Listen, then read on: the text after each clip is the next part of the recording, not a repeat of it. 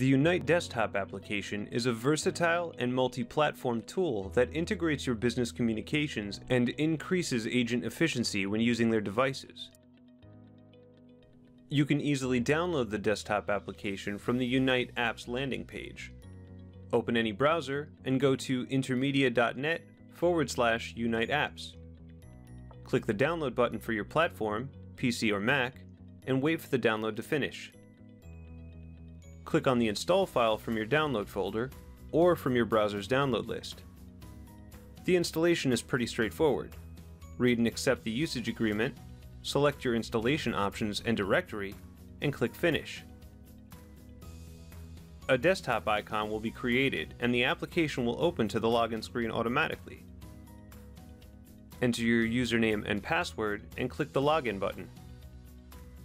When you first log in, you are able to select the application mode, selecting between the call controller or soft phone. The call controller works together with your desk phone, providing click-to-call capabilities and call management features. The soft phone enables live call functionality directly on your desktop. With any PC or Mac compatible headset, you can use the desktop app as a hardware replacement or just to have a phone on the go. The selection screen is only shown to you the first time you log in with a user on a new installation. However, you can change the application mode at any time in the options menu. Once you've selected an application mode, Desktop is automatically configured to work with your voice services account, and you will see the main display of the desktop application. Anytime you open Unite Desktop, either from the shortcut icon or from the taskbar if already running, you will be brought to the Contacts tab. This is your corporate directory, listing all users on the same voice services account. You can scroll through the alphabetical list, or search for a contact by typing their first or last name, phone number, or extension number in the search bar at the top. To call a contact, you can simply hover over the contact so that the phone icon is visible and click the icon to start your call. Alternatively, you can click the username to view their contact card. The contact card will display the user's current status, being available, busy, or offline, their phone numbers and extension number, their email address, and even their department and office information if entered in the voice services control panel. If you happen to contact a specific user more often than others, you can click the star next to any of their numbers to set them as a favorite, displaying them at the top of your contacts list in a new favorites group. The History tab contains all placed, received, and missed calls. You can even filter out only your missed calls by clicking the Missed tab at the top. Just like the contact list, you can mouse over a call in the history and click the phone icon to immediately call the party back. You can also click the name or number on the left to access the call history card, which will display the last three most recent calls and additional contact information if available. The final tab, Meeting, allows users with any meeting enabled to quickly access their meeting URL, dial-in number, and access PIN. There are also quick links allowing you to email the meeting or copy the meeting info to your clipboard to share it on any communication medium. Finally, you can click the Enter My Meeting button to open any meeting in your browser and start a new meeting on the fly. At the top of the application, you will see a small menu bar with three buttons that access additional options in desktop. The first button is the dial pad. You can dial any number or extension by clicking the numbers, or simply typing it in the search bar above. If the number is assigned to a contact on the account, you will see the contact listed in the scroll window above.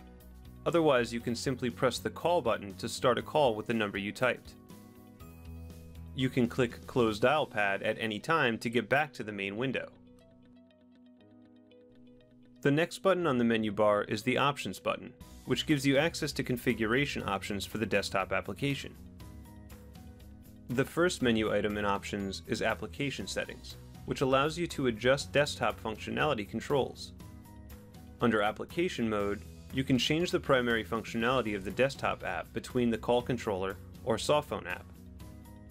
When assigned to the call controller, you will see a drop-down that lists all hardware assigned to your user account, and a current assigned click to call device listed. You can only select one device as your primary click to call device, but you can change the device here at any time. When assigned to soft phone, there are no other settings necessary under application mode. However, this will add an additional menu item, Audio Settings, on the main options window that lets you select your audio source and input options for your headset and microphone. Under Notifications, you can choose to show or hide incoming call notifications. This is the small pop-up that displays on the bottom right of your screen when you receive a call. You can also choose to enable or disable sound notifications, which will mute ringing on new calls and any sounds produced by new events in the application. Under Application, you can set Unite Desktop to run in the background, which will minimize the app to your taskbar when you click the red X at the top right. If this is disabled, the taskbar icon will not appear while desktop is running, and clicking the X will close the application completely. The last option is to enable or disable running the desktop application when your computer starts. If this is disabled, you will need to open the application from the desktop icon or from your start menu. If you change any settings on the options window, you must click the Save Changes button at the bottom to confirm your configurations. If you are changing your application mode between call controller and softphone, the app will prompt you to restart so it can reconfigure itself to work in the desired mode. Back on the options window, the next menu item is Advanced Settings. This section allows you to turn on application logging, which will create a log file of the events in the desktop application. The setting can generally stay disabled unless you are having issues that require in-depth troubleshooting with the support team. The Send Feedback menu item will open your default email application and address a new message to the app feedback support address. If you have any issues while using desktop or desire new features, we encourage you to use this option to easily send feedback to the teams responsible. The Updates menu item allows you to check for and install new application updates. The desktop application will notify you when updates are available by displaying an event flag on the options icon. Clicking to access your options menu will also show the event flag on the updates menu item. You can then click update to download and install the latest version of desktop, and the window will prompt you to restart the application when finished. The last menu bar item is your user profile. Clicking your picture will open your profile details, where you can change your availability status, add a note or message to display on your contact card for others to read, and see your direct phone numbers and extension. There are significant differences between using the call controller with a desk phone and using the soft phone. We'll go through both application modes to explain the differences. When using Unite Desktop as a call controller, the application serves as an extension of your desk phone. This allows you to perform some call management options, such as placing or answering new calls, while your voice conversations occur on your assigned click to call device. When you receive a call in call controller mode, the desktop application will notify you of the incoming call with an audible ring and call information. If you have the app open on your desktop, the information will be displayed directly in the window, with additional options to decline the call to your follow me forward setting or send it directly to your voicemail. If the application is minimized to your taskbar, you will receive a pop-up notification with the caller ID information. You can click the pop-up to access the full window display. To place a call in call controller mode, click the phone icon on a contact or use the dial pad to enter a number and press the call button. Once a number is called, you will immediately receive a call to your desk phone, and upon answering, you will be connected to your dialed number and hear ringing. The application advises you that we are still waiting for the other party to answer. When the call is connected, the desktop app will display your active conversation, showing the caller ID information and call duration on the top left, as well as giving you some additional call control options. You can call a second party by clicking Add Call. This will minimize the current conversation to the top of the app and present the contact window below. Calling an additional party will add a call tab to the top of the window and send the call to the second line of your device. Press the line key to pick up the call and wait for the ringing to start. This will automatically place your first caller on hold, and you will see an indication of the held party in the call tabs. You can click between the tabs to access call control options for both calls. You can use the call flip button to flip the call back to your extension, allowing you to pick it up on a different device associated with your user account. You can use the park button to park the call on a virtual extension to be picked up from another device on the account. Parking from the application will display the parked extension where the call resides in the middle of the window. You can also transfer the call to another user or phone number. Pressing the transfer button will bring you to the contact list.